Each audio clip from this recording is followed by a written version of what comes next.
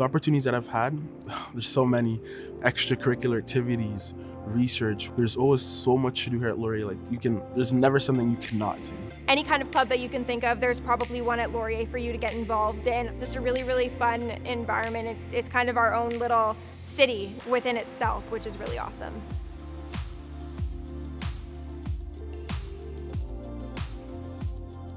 In your first and second year, you're gonna get a foundation, and then in your latter years, you're gonna get to specialize in what you're really interested in. So there's immunology, pathophysiology. The courses are endless.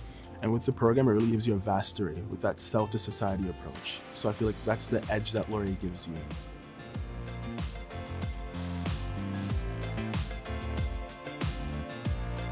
I have been involved in research since my second year. So I started getting involved with the Laurier Center for Women in Science. You can do a directed study in your third year, which is where you're working with a prof to produce a research study and have like a publishable article at the end of the year.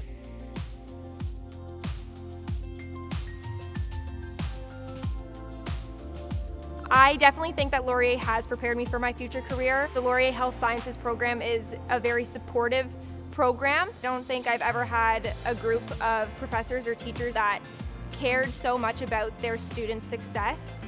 And the class size is so small, so you're gonna get to know everyone within your year.